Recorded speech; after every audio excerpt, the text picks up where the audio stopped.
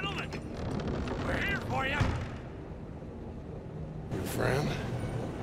Get in there. Shoot him. Find him. Now.